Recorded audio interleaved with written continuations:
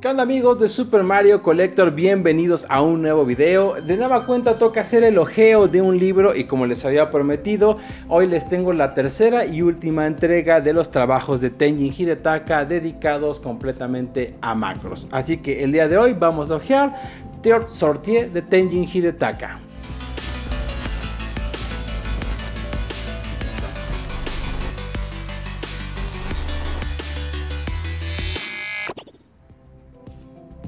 Bienvenidos amigos de nueva cuenta a este ojeo de Super Mario Collector. Ha tocado el turno de este último trabajo de Tenji Hidetaka enfocado completamente a los trabajos de macros. Realmente ya no hay mucho que decir acerca de este artista, pues para este libro que ahora es un poco más corto, son 120 y tantas, 130 y tantas páginas alrededor. Eh, de nueva cuenta eh, nos muestra los trabajos que estuvo realizando para Hasegawa, para Bandai Visual, para Wave, además de algunos otros pósters especiales que realizaron para los 30 años de Macros, así como también para algunas actividades de caridad durante 2011. Recuerden que en ese año Japón sufrió un terremoto bastante devastador, entonces en los años posteriores estuvieron haciendo distintas actividades para recaudar fondos para restaurar las ciudades afectadas. También para Tenjin se le encargaron algunos, algunos pósters de este tipo Obviamente todos ellos englobados a lo que es macros, en los que se realizaron algunas actividades con respecto a este asunto. Lo más impactante, digamos, de, este libro es, el trabajo de Hidetaka que se realizó para el aniversario 30 de macros, en el que se hizo una cabina escala 1-1 de una de las Valquirias.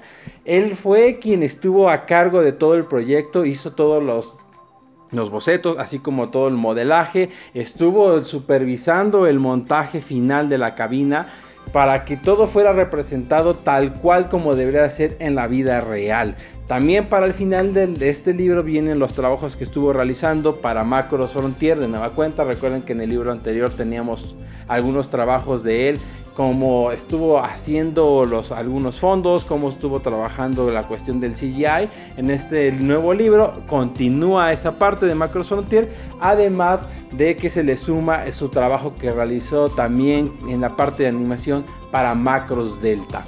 Pues bien amigos, este, este, libro engloba ya los últimos trabajos de este Hidetaka que van desde 2011 hasta 2016. Hasta la fecha es el último libro que ha salido de este artista englobando sus trabajos. Muy probablemente tengamos un libro de él próximamente como ha estado pasando con nosotros en los que engloban 4 a 5 años de su trabajo. Bueno, vamos a pasar al ojeo y espero que lo disfruten.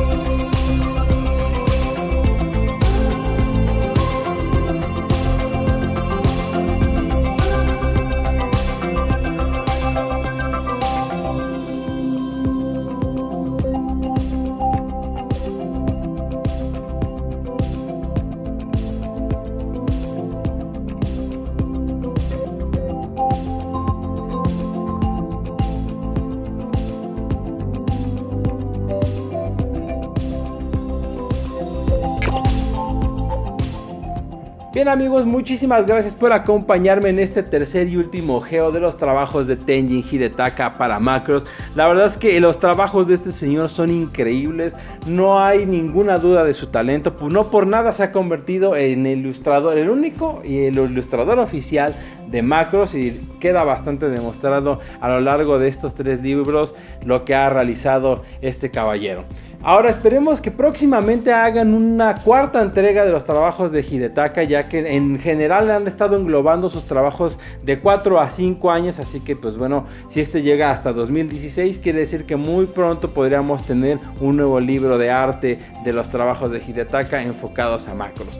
Espero les haya gustado las tres entregas y si ustedes tienen alguna sugerencia de algún libro de arte que quisieran ver aquí en el canal, no olviden dejarme su comentario y con mucho gusto lo revisaré y tomaré en cuenta. Pero también amigos, no olviden suscribirse al canal para que les estén llegando todas las notificaciones de cada vez que se suba un nuevo video, ya sea de unboxing, ya sea de review, ya sea de algún ojeo de algún libro. Les agradeceré mucho que se suscriban para que cada vez seamos más aquí en Super Mario Collector. Muchas gracias por todo, me despido y nos vemos próximamente.